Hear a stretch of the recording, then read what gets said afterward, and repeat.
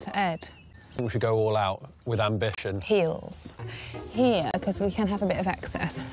This lady's straight from a Paris fashion house. Oh, this is a disaster.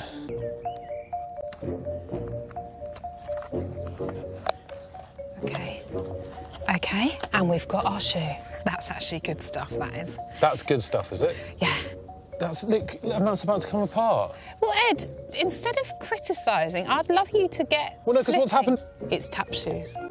What the hell?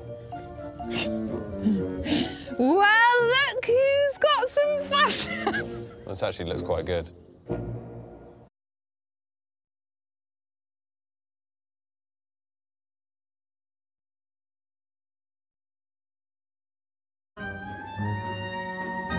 and the thing is, I'm just as elegant as ever. Okay. okay.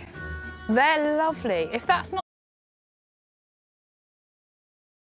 Section.